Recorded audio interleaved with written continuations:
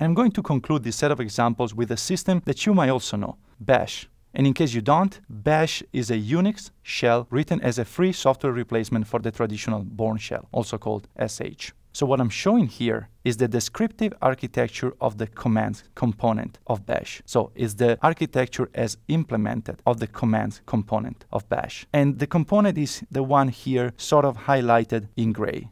And what you can see here, these names are the subcomponents of the command component. And if we look at this architecture, two design problems of the component can kind of jump at us. The first one is the lack of cohesion within the component. So if you look here, you can see that only a few connections exist between the subcomponents. And having a low cohesion is normally not a good thing for a design. The second thing that we cannot is the high coupling. The components has tons of connections with other components. There are these edges that are leaving the components and going towards other parts of the system. So basically, this component has low cohesion and high coupling, which is exactly the opposite of how a good design should be.